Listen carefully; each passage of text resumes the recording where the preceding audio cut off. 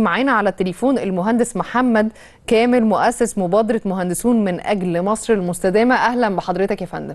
أهلا وسهلا بحضرتك يا فندم. محتاجين تدينا فكرة عن استراتيجية المدن الذكية والتحضر الأخضر يا فندم. آه، في البداية طبعا آه، الاستراتيجية الوطنية للمدن الذكية دي تم إطلاقها آه، ضمن فاعليات آه، المنتدى الحضري الحضري العالمي. في في الفاعليات بتاعته اليوم الثالث وكان طبعا آه، السيد آه، وزير ال- الإسكان والمرافق والمجتمعات العمرانية المهندس شريف الشربيني. والاستراتيجية دي في المقام الأول آه، بيبقى الغرض منها إن هي بتعزز قدرة الدولة على مواجهة التحديات الحضريه السريعة وكمان بتضع أسس أسس قوية للتنمية المستدامة. وده طبعا بيساهم بشكل كبير جدا في دعم الاقتصاد الوطني ورفع ورفع مستوى المعيشة كمان. آه، بيخلي إن الدولة بتكون أكثر تنافسية آه، في العالم اللي هو متسارع اللي هو بيعتمد على التكنولوجيا والابتكار.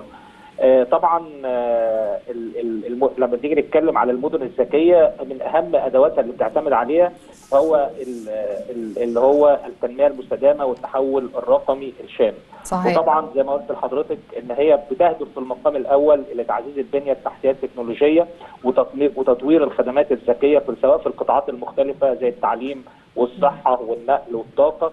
تم تخصيص جزء كبير جدا من ميزانية الحكومة آه، لتحقيق عدد من ال- المشروعات إن شاء الله اللي هتتم خلال الفترة اللي جاية منهم انشاء 10 آه، مدن آه، مستدامة.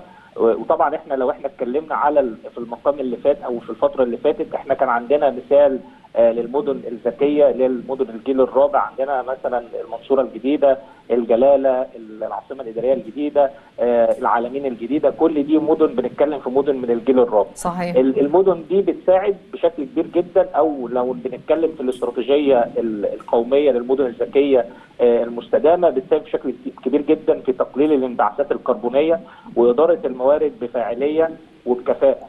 وده بينتج طبعا من خلال اللي هو الاعتماد على الطاقة المتجددة وانظمه وأنظمة النقل الذكية وطبعا بيحافظ على البيئة ويقلل من التلوث.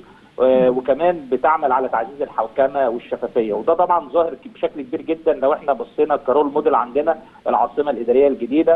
ان إحنا في أجزاء كتير جدا موجودة في ال- ال- ال- ال- الحي الحكومي. يعني نتكلم مثلا في 50 أو 52% من السطح. مثلا بنلاقي إن في solar panels بنلاقي إن في آه، اللي هي آه، اعتماد على الطاقة المتجددة. وكمان بنتكلم في آه، منظومة إدارة للمخلفات بشكل آه، متكامل في العاصمة الإدارية الجديدة.